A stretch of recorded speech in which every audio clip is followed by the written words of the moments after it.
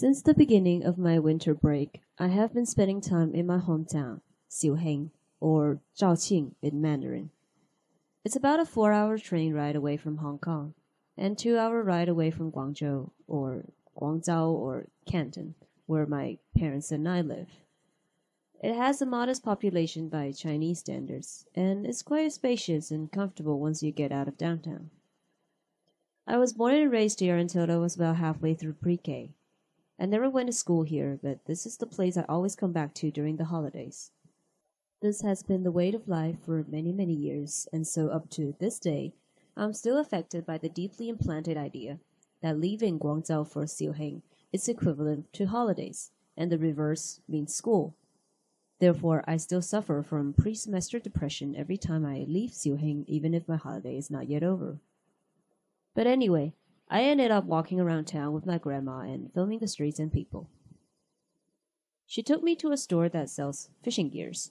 She knew the store owners and their cat, a giant cat, and I ended up using about a quarter of the memory to film this cat. But I'd also filmed a good deal of the street that I never managed to visit in the past. It surprises me that there are still so many unexplored places in my birthplace, which is the one place on earth I thought I knew the most about. Not just this.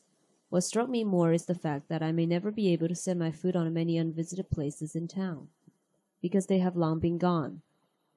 As I filmed, I realized that some of the places I walked past may forever disappear in my lifetime, and many other places will disappear without ever being documented, be it on film or in text. This is the tragedy of rapid urbanization. Places are gone before they're remembered. And this reminds me of the words from a mentor who is far wiser than I and who has explored a great deal of this world. He said that being family oriented will eventually get you somewhere. So I feel obligated to do something, at least to secure my childhood memories in a camera. The past few years have been very adventurous for me, and recently I have been going through some personal struggles. It was not until I came back to my birthplace that I finally found some peace. I am the descendant of a family-oriented people. For thousands of years, poems have been written and songs have been sung, all expressing desire to return home. The idea of going home is so prominent that it alone is enough to trigger the annual national migration before the Lunar New Year. Interestingly, at the same time, many of us are brought up with the opposite idea leave home. When you think about it, it does make a lot of sense because where do you have all these people who want to go home so bad if they did not leave home in the first place? If you are born in the country, you should make a living in town. If you are born in a town, you should attend a school in a big city. If you were born in the city and had everything you wanted, you should probably leave the country and settle down abroad. Somehow, your birthplace becomes your last choice. I'm pretty sure most people in this country are receiving education or pursuing a career outside of their birthplace. You only stay when you can't make it. But if you want to be considered successful, your story has to happen elsewhere. The further away, the better. Just never home. And I, too, was raised with the idea that I should have a life far away from home. As far away as possible, my father would tell me. And so away from home I went. I have been extremely privileged to be able to travel to so many places at such a young age. I know it could not have been any better. True, I still have other places on my list, and I still want to see more of the world. But the idea that I must have a life outside of my hometown haunts me every second. On November 23, 2012, my grandpa passed away. I was the only one in my family who couldn't attend his funeral because I was half a planet away in Toronto, Canada. I can still remember the moment when I received my mother's text as tears rolled down my cheeks. I can remember the gray, gray winter skies above me as I walked on the quiet cement streets of a foreign land. I know it was not my fault that I couldn't stay by his bedside when he died, but I still cannot help but feel guilty. And what frightens me more is that I know this would happen again if I decided to go far, far away. Somehow, I will make my name by the amount of time I did not spend in my home country.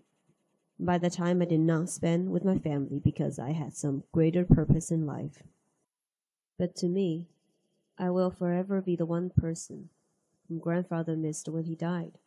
To me, I will always be the missing one in the funeral, and I'm not proud of that. I can't be. I can understand why any Chinese parent would want their kids to live elsewhere, although the reasons are complicated political, economic, environmental, social, educational. There are so many of them you could easily pick one up simply by being alive. I know my nation is flawed, and I know anyone has the right to live wherever they want. But what about the future of my birthplace? Many people who left this country had good reasons to do so. Hell, I can name a dozen reasons right now on why I would like to live in a place like Vancouver even if it's kind of boring. Yet I cannot help but think about China, the place that bred my body and soul. It is convenient to believe that someone, a mysterious, competent individual, will emerge from an undisclosed place and put the nation back on the right track. And my participation is unimportant. I should just go to a much better place and not come back until things get better. But who will make things better? I know my parents are conflicted too, because telling your child, who you carefully raised and educated for 22 years, to fly away to some faraway land where everything is better for her does appear to be the right thing to do. I know they wished China had been a better place. They feel sad that they are left with no other choice but to send me away. And I too feel sad, not for myself, but for the millions who left because they had no other choice. We Chinese have never been very good at fitting in foreign culture. We built Chinatowns everywhere we went. We insist on speaking our native language regardless of where we settle. We hold on to the Chinese way of life because we didn't leave our country longing for a different way of life. We just didn't have any other choice. And so we ended up building our own China in another country. Wherever there are Chinese, there is China. But there are many ways to connect to your nation politically, economically, or like myself, culturally. The idea that I must dissever myself from my homeland kills me. It really does. I know it may not seem obvious, but I am as Chinese as you want me to be. I grew up bathing in Chinese poetry, history, and classic novels. The people I admire are either Chinese who have been dead for a very long time, or are created by a Chinese who has been dead for a very long time. I still believe that the best thing that has ever happened to me is being born a Chinese, and thus am able to understand the essence of Chinese culture. I just don't think I can be any luckier. My mother language is Chinese, and my mother tongue is Cantonese. There is nothing better than that. I don't know if I will ever have children but I know very clearly that I don't want them to go through the pain that I am in every waking moment. I don't want to raise them in one place and then tell them to have a new life elsewhere. I also don't want my children to not be able to speak fluent Chinese. I want them to be able to read Journey to the West in its original. And that reason alone is enough to make me dread having a family in a place that does not speak Chinese. What we have come to as a nation when the soundest advice from a parent is to tell a child to have a life outside of their birthplace, outside of their home country. It sucks. It really sucks. It's sad that there are people in this world who would tell you that you should be less proud of your origin, or that you should somehow feel ashamed of your heritage. Many have been denied their well deserved pride as a people, and many others have been punished for their traditions and beliefs. I don't know why it is so hard for people to just be nice to each other. Maybe it's because people are stupid.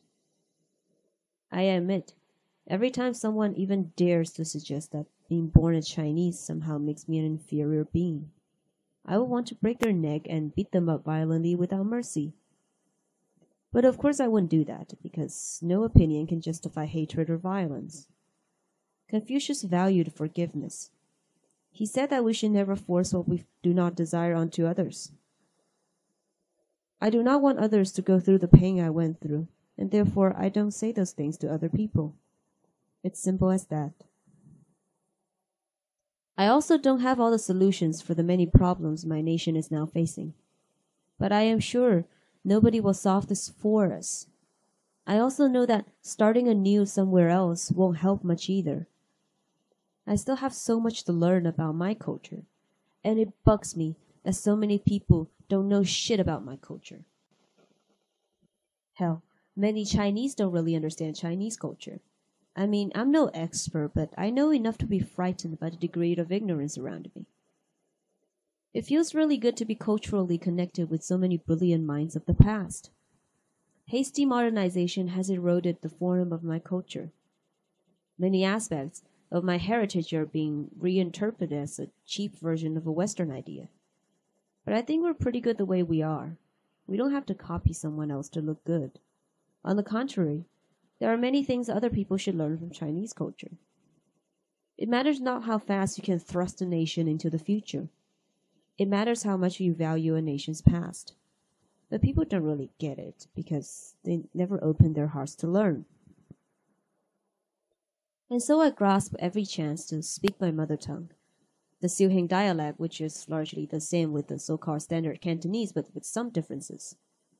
I need to remember how it is spoken, and I should not feel ashamed just because it has a rural origin. I know someone needs to be consciously doing this because otherwise some stories will be buried forever without being told. I don't want the story of my family go untold. My grandmother tells me new stories every day we spend together. Those who judge the lives of my people don't see the marks history has given us.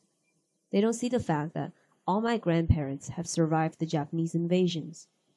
My grandfather, the one who's gone now, knew only one Japanese word, tobacco. My grandmother said she could never forgive the Japanese because they destroyed her family. And they all survived the Great Leap and the Cultural Revolution.